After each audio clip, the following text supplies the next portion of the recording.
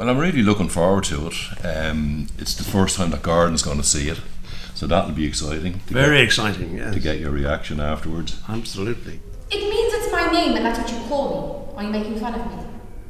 Just wonder what your name means, that's all. Can a person not wonder what a name means? Well, what does Aisling mean? A dream. really? It means that? In Irish it does. Sometimes when I'm in trouble, Mom will say, You're not a dream, Aisling, you're a nightmare. It was Maeve's first novel, Yeah, and um, she really hit the ground running with it. I think you know it's a brilliant story, Yeah, absolutely. and as you say, friendship is, is very much yeah, the, yeah, the key to it. Friendship's and, the and it's wonderful the way it develops Yeah. and the explanations, as you say, of, yeah. particularly of religion. I mean, it's so, so, it's so cracked. You know? Weird ideas. Are you excommunicated before you even get in? A good Catholic is always obedient.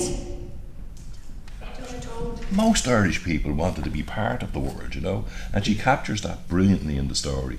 That sense of that belonging is not just about home, but belonging can be about having a friend in England and going over and helping her. And then you get that wonderful story of the two of them wondering what they're going to do about the pregnancy that the girl finds herself in. I mean, it must have been 40 years ahead of its time.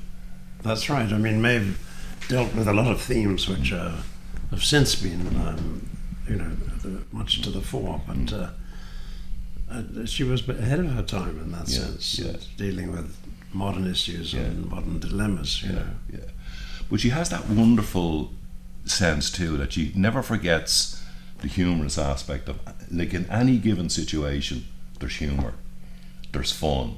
There's quirky, offbeat ways of looking at the world, you know, no matter how difficult it is. And throughout the play you have this wonderful concept of Aisling communicating with God, even though she has told us she doesn't believe in God anymore.